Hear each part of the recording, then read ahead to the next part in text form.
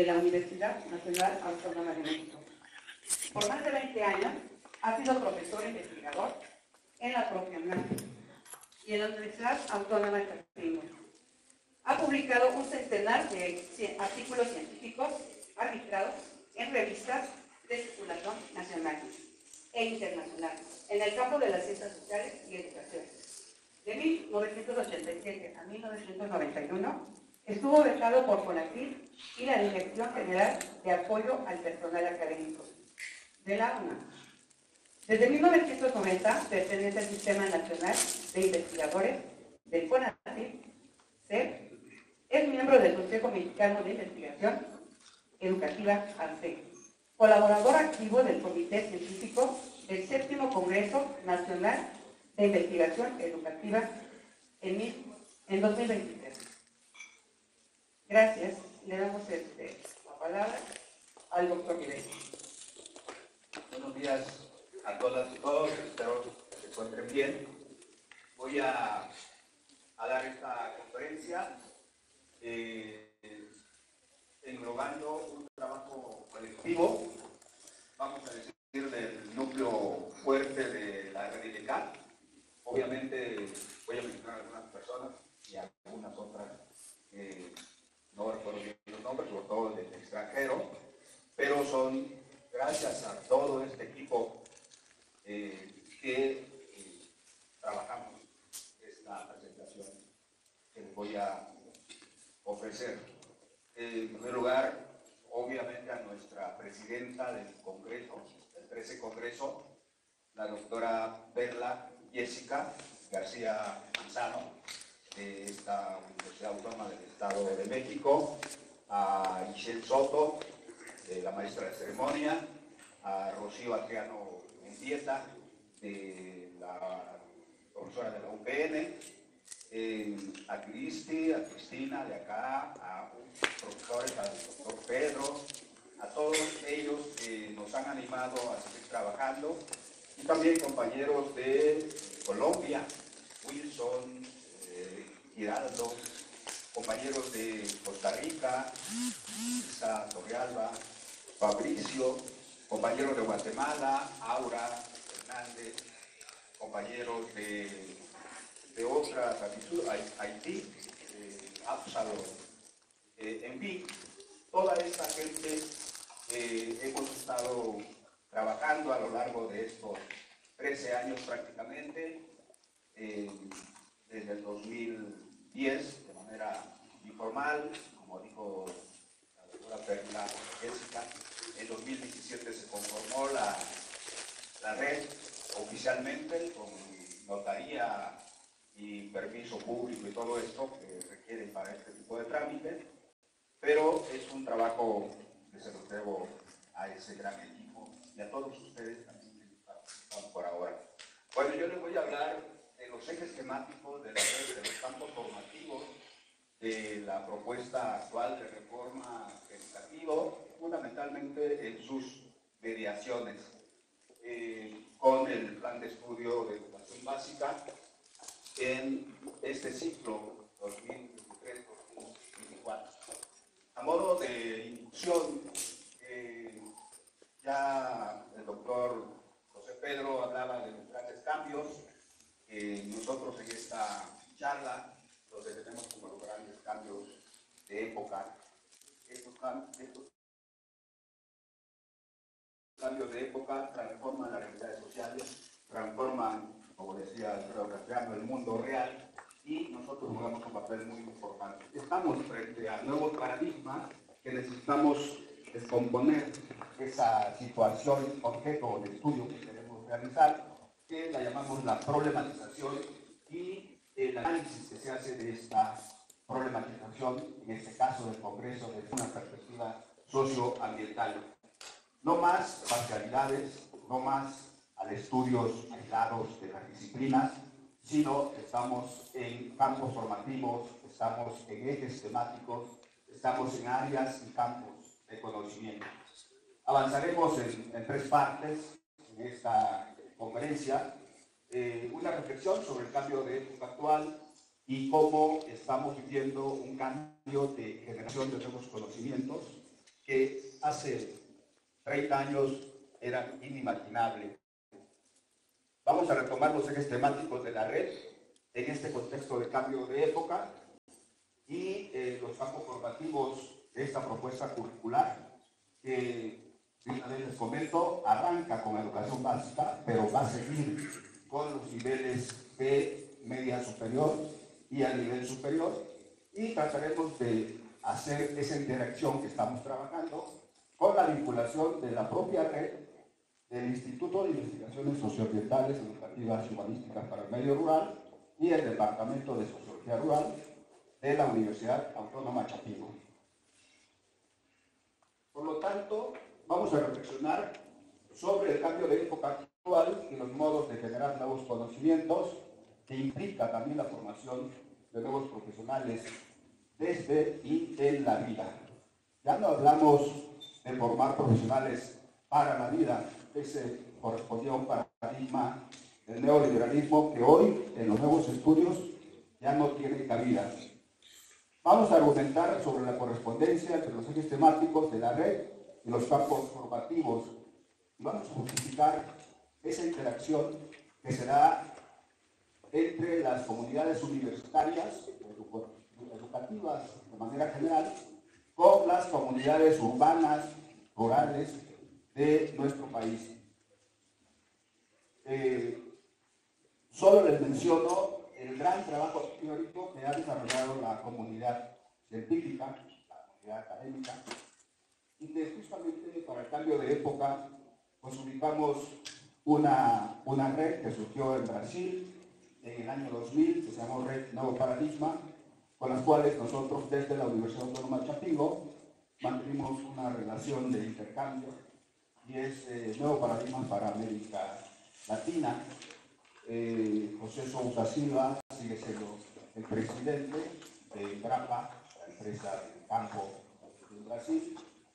Vamos a tomar las epistemologías del sur, de Boa de Sousa, las teorías de, colonialidad o descolonización de Aníbal Quijano, eh, las teorías curriculares, esas que nosotros los profesores, digamos, antiguos, eh, vivimos con lo que se denominó las didácticas críticas frente a las tecnologías educativas, a Alba, entre otros, que actualmente están produciendo ese tipo de, de trabajo.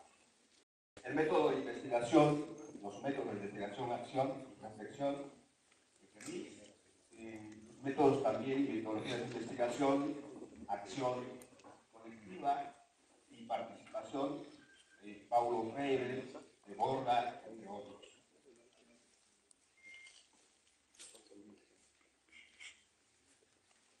Entonces, eh, una primera interrogante para todos. Eh, nos ayude a reflexionar. ¿Y en qué cambio estamos viviendo hoy en el mundo, en México? ¿Estamos frente a una época de cambios o estamos frente a un cambio de época? Es una pregunta que es muy importante, es una pregunta generadora, es muy importante que cada uno de nosotros la pensemos. Voy a dar algunos elementos. Una época histórica se caracteriza porque hay un sistema de ideas dominantes, porque hay un sistema de técnicas dominantes, porque hay un sistema de poder, es decir, cómo se gobierna, cómo se manda, una institucionalidad dominante.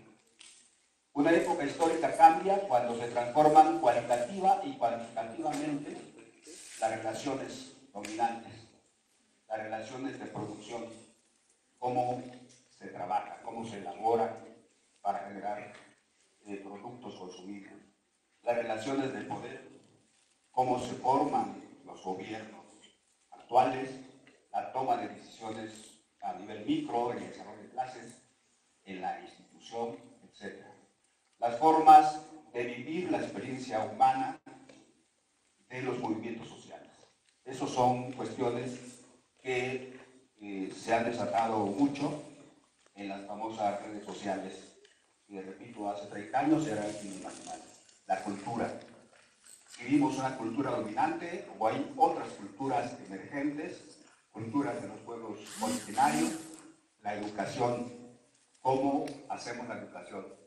Hasta hace 30 años no conocíamos la educación a distancia virtual, comenzamos a conocer la educación remota, comenzamos a conocer la educación híbrida, que son las que se han, digamos, sostenido frente a la pandemia del 2020-2021 en la mayor parte de las instituciones y que no separaron las, las actividades. Entonces estamos frente a un nuevo paradigma de la educación virtual que tiene todo un planteamiento teórico metodológico que pocos lo, los conocemos. La generación y producción de conocimientos, de nuevos conocimientos. Antes se decía, es que quienes producen conocimientos son las élites, aquellos de las grandes universidades europeas, norteamericanas o latinoamericanas. Resulta que no, resulta que también nosotros estamos generando conocimientos y estamos resolviendo los problemas de la vida cotidiana. Este, este cambio de época tiene su génesis en estos tres paradigmas fundamentales. Uno que es la revolución tecnológica, en donde hay una visión cibernética del mundo, es decir, el mundo está en las computadoras, por ejemplo.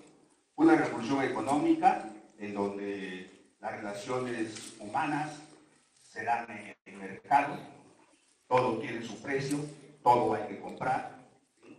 Eh, y la revolución sociocultural, que es donde nos ubicamos y se ha ubicado la mayor parte de los trabajos de esta red. Un ejemplo muy general. Aquí tenemos esas seis variables que les he comentado. Tenemos las épocas. ¿sí? Desde, para el caso de México, se puede hacer a nivel mundial, se puede hacer a nivel de, los países, pero en este caso, en el de México, pasamos una época agraria, una época que arranca de la comunidad, comunidad primitiva y llega con la conquista hasta la independencia e inicios de la Revolución Mexicana. Pasamos a un cambio de época de la industrialización. Justamente se da en la post-revolución mexicana, digamos los años 30, 40, del siglo XX hasta los años 70, 80. Y entramos a la era de la información, de la que nos habla Manuel Castell, o bien al informacionalismo que plantea la red Nuevo Paradigma para Investigación. Aquí en México, esta es caracterizada fundamentalmente por las tecnologías de información y comunicación, las famosas TIC para unos, TICs para otros. Entonces, este informacionalismo surge en los años 70-80 y está hasta la actualidad y posiblemente llegue hasta el 2030. Entonces, tiene que tener una correspondencia, tiene que tener todo un planteamiento de desarrollo, preparación, capacitación, etc.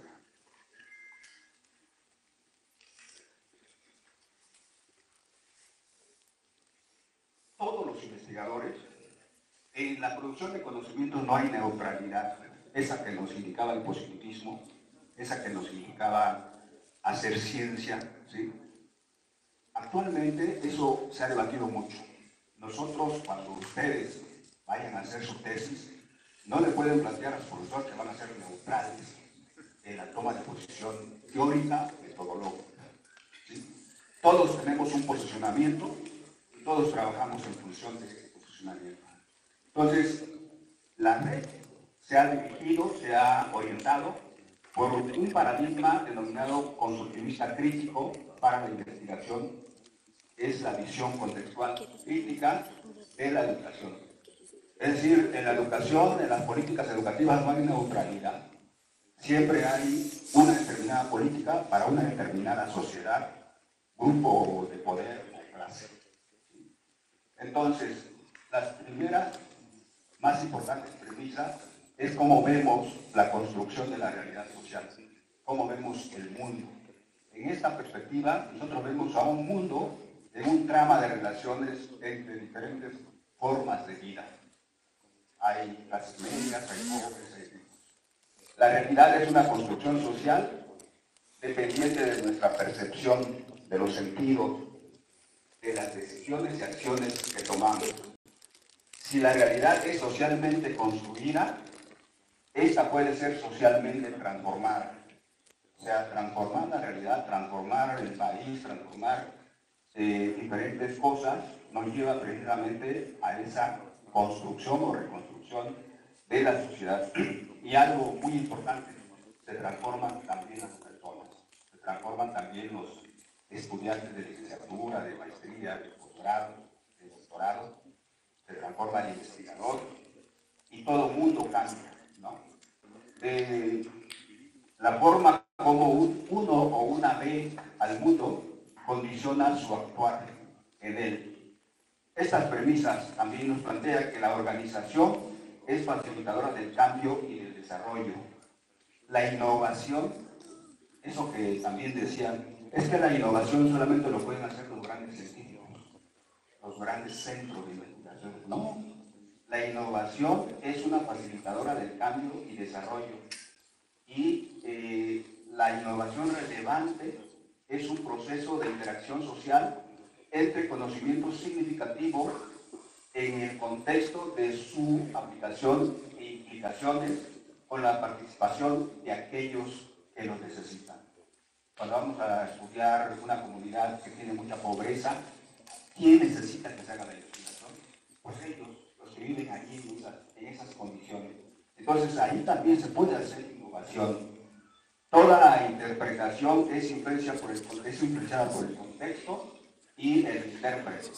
Los excluidos, esos en otra perspectiva, digamos, neoliberal, eh, los pobres ya no tienen remedio, los pobres nacieron así, no, los excluidos emergen de relaciones asimétricas en los procesos de generación, distribución y apropiación de información de la riqueza y el poder. O sea, los hombres son producto de estas grandes contradicciones eh, de la riqueza, de la desigualdad social. Los seres humanos no son, en esta perspectiva, no son recursos humanos, así como los recursos materiales, no, son talentos. Todos somos talentos humanos porque contamos con una imaginación, con una percepción del mundo. Los seres humanos eh, en las organizaciones sostenibles son espacios estamos planteando los cambios. La red es una organización que está planteando cambios. Eh, un poco la cuestión teórica, metodológica, y digamos vamos a ejemplificar cómo nuestra red, sus ejes temáticos, eh, nos ha servido para orientar este tipo de trabajo, con lo cual más adelante voy a hablar de los resultados. Eh, la red tiene tres grandes objetivos, analizar eh, las problemáticas teóricas, metodológicas y políticas en educación ambiental. La educación ambiental no la vemos como una asignatura, la vemos como un campo de conocimiento, como un campo formativo. Avanzar todas, avanzar en los retos y en las consideraciones de los compromisos que tenemos en la participación de las instituciones de educación superior, pero pueden también ser instituciones de educación media, incluso de educación básica. Contribuir en la, en la participación de las comunidades académicas para la sustentabilidad. Tenemos ocho ejes temáticos, y ya mencionaron los que me antecedieron. ¿sí? Epistemología y educación ambiental, la número uno, esa se aboga a la reflexión filosófica, conceptual, teórica de esto, de la educación ambiental. La dos, educación ambiental y sustentabilidad, se aboca a la reconstrucción del pensamiento social.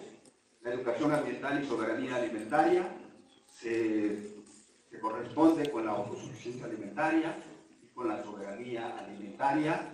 Aquí a nivel mundial hay una corriente política que se llama Villa Campesina, que ha buscado este tipo de alternativas.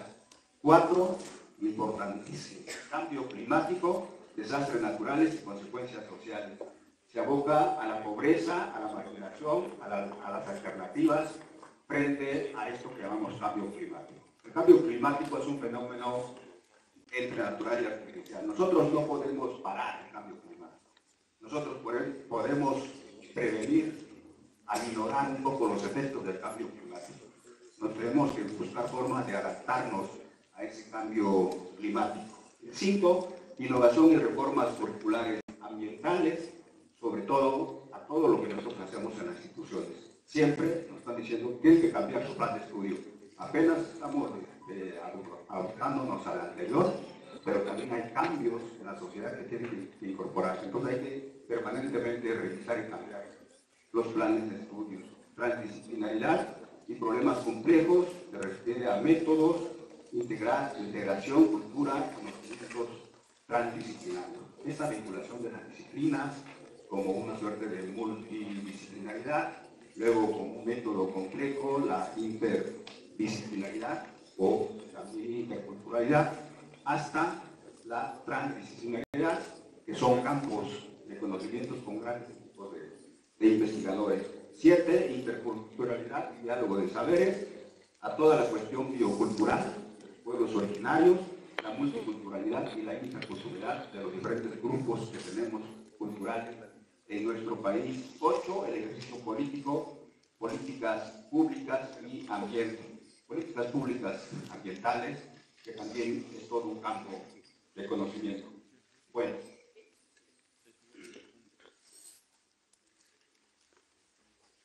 Pero ¿qué hemos hecho?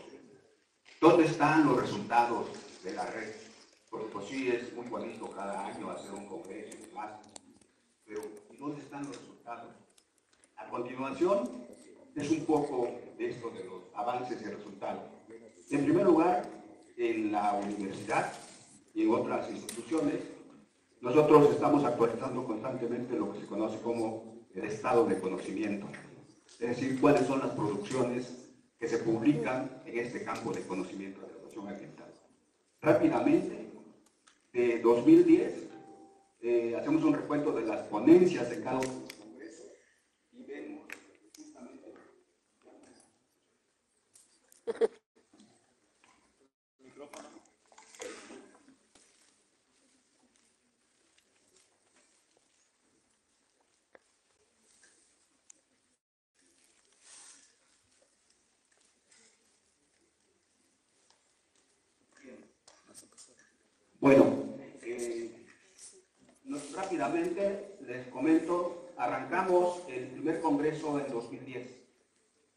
no era reivindicado oficial. Era un grupo de locos, como decía que necesitamos discutir en las universidades este tipo de cuestiones. Pasaron hasta el 2019, ese es el que tenemos más ponencias, se hizo en Mazatlán, Sinaloa en el norte del país, en un centro de CONACYT, con la gente de, ese lugar y la universidad también de Sinaloa. En 97 eh, ponencias, fue un congreso muy concurrido, también hubo muchas conferencias de otros países, de Canadá, de Estados Unidos y de, otros, de otras latitudes. Hasta la actual, bueno, pasamos 2020-2021, que era el COVID. Nosotros hicimos el Congreso y esas son las ponencias que se presentaron de manera cuantitativa. Y estamos hoy, en este 2023, hay 68 trabajos, incluyendo las conferencias magistrales, y consideramos que es todo un éxito porque ha despertado Ahora hacemos una eh, división, un análisis de los trabajos por ejes temáticos. Y pueden ver ustedes en esta gráfica, a la fecha llevamos 613 ponencias. No les digo cuántas se publicaron como artículos, cuántas entraron en el libro, es un trabajo pendiente todavía que tenemos que hacer. Pero esa es la cantidad de ponencias y por ejes temáticos, el eje que más ha tenido ponencias es el 2, es precisamente educación para la sustentabilidad. Le sigue el 5, que es formación y actualización e innovación curricular, que bueno, es, nuestro propio trabajo prácticamente, ¿no? Sigue el, el 96, el tercero, que tiene que ver con la educación para la autosuficiencia y soberanía alimentaria. Y digamos la que menos tiene ha sido la 8, que es ejercicio político, políticas ambientales para la toma de decisiones. Ahora bien, la red ha trabajado, digamos, los congresos como punto aglutinador de, los estudios, de los avances de investigación, de los profesores, tanto de licenciatura, de maestría, de doctorado, profesores investigadores y también eh, experiencias de ambientalistas, campesinos, campesinas de diferentes lugares del país y del A partir de 2021 acordamos, el núcleo fuerte que les comento, acordamos que deberíamos de difundir más lo de la red. Entonces empezamos a echar a andar las charlas de Redillecap en canal YouTube. Y en ese año de 2021 eh, logramos juntar 60 charlas, entrevistas con participantes como ponentes, eh, no solo académicos o científicos, también ambientalistas, antropólogos, organizaciones comunitarias, migrantes, feministas, amas de casa, entre otros actores y sujetos sociales importantes de los países, desde luego incluyendo México, Guatemala, Costa Rica, Colombia, etc. Eh, esas charlas nos dieron una participación, nos daban una participación entre 40 y 65 escuchas, es decir, gente que nos escucha y, participa. Eh, en ese tiempo teníamos 650 suscriptores, aproximadamente 4.000 horas y con más de 3.000 vistas en nuestro canal. Para 2022 y 2023, digamos hasta este tercer treceavo congreso, eh, contamos con 96 charlas de esas universidades que se mencionan ahí. A octubre del 2023 contamos con 80 charlas, de tal manera que los participantes aquí se incorporan fuertemente nuevos, eh, nuevos participantes como de la Universidad Veracruzana, de eh, Oaxaca, Tabasco, entre otros, y países, mencionan allí, este, de Costa Rica, de Chile, de, Cuba, de, Brasil y de Colombia. Total que tenemos acumuladas 236 charlas, donde el ponente o que se encarga de dar, de plantear su experiencia, eh, entra en diálogo con todos los que nos escuchan. Tenemos 1.400 suscriptores y más de 7.500 visitas, más de 4.000 horas de trabajo. Aquí quiero hacer un reconocimiento muy especial a la Universidad Autónoma del Estado de México, concretamente a la Universidad, a la Unidad Profesional de Chimalhuacán, Unidad Profesional Académica de Chimalhuacán, porque ellos, como decía José Pedro, son muy responsables y una buena parte del público son de las universidades, de esta universidad, de esta unidad académica, los que participan en la charla, y de una universidad privada que se llama Felipe Villanueva, bueno, ellos constantemente, martes y jueves, nos acompañan en esta charla. Yo les manifiesto mi reconocimiento y da mucho gusto que ustedes sigan participando con nosotros en este tipo de. La siguiente gráfica es un poco nada más para que vean ustedes cómo se da este, esta correspondencia entre los ejes temáticos de la realidad y los campos formativos y los ejes temáticos de la propuesta de educación básica, que repito, va a ser para todo el sistema educativo, también para y superior, en la actual reforma que se está implementando en este ciclo 2023-2024. Eh, yo me estaría un buen rato diciéndoles cuáles son, y no se trata aquí de que nosotros lo dijimos primero, sino que se trata justamente de que estamos en la perspectiva teórica metodológica más conveniente para nuestra nación mexicana. Entonces podemos ver ahí la rosa, están los cuatro campos formativos de educación básica, los siete ejes articuladores, nosotros tenemos allá ocho ejes temáticos, cualquiera rápidamente podemos decir, bueno, ¿dónde está la interculturalidad? Nosotros tenemos un eje temático que se llama interculturalidad y diálogo de saberes. Acá hay un eje, un eje articulador en la propuesta de la Rosa de 2022 de la SED, de la nueva escuela mexicana, interculturalidad crítica. Eh, ¿Dónde está lo del pensamiento crítico? Bueno, nosotros tenemos una que se llama epistemología eh, y educación ambiental. Ahí está pensamiento crítico. Y así podría relacionar muchas eh, correspondencias con estas propuestas en el mundo teórico aplicado.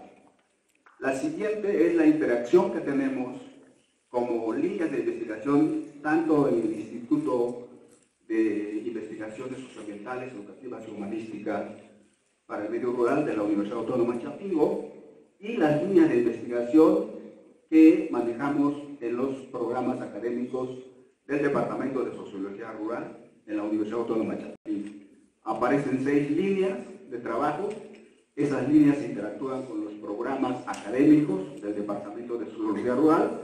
Pueden ver allí donde estudió José Pedro, doctorado en Ciencias Agrarias, eh, la maestría en Sociología Rural, el doctorado en Ciencias de Educación Agrícola Superior, el doctorado de Reciente Creación, Interinstitucional de Ciencias en Economía Social Solidaria y la licenciatura en Sociología Rural. Esas seis líneas se relacionan con todos estos programas académicos. Ya para terminar, vamos a entrar a la cuestión de la discusión. Eh, yo considero, el equipo considera que nuestros avances y resultados refrendan nuestro pensamiento crítico, refrendan nuestro posicionamiento como investigadores, como profesores, dentro de las comunidades universitarias. En el análisis crítico de nuestros datos, el sustento, teórico y la investigación tiene incidencia en las comunidades. Es decir, quizá es muy difícil pensar que un otro congreso puede hacerse en una comunidad como, como Chimalhuacán, un municipio como Chimalhuacán. Sin embargo, aquí estamos. Es decir, tenemos incidencia con, con las comunidades. Tenemos incidencia de la reforma educativa integral, que ya demostré, del Estado Educador Mexicano o Estado de Bienestar que dirige Andrés Manuel López Obrador. Las comunidades académicas y científicas son la vanguardia del pensamiento crítico social. Nosotros estamos convencidos de eso. Y ya para concluir, los planteamientos teóricos metodológicos aquí, eh, estamos en un proceso de resignificación en las comunidades académicas y científicas.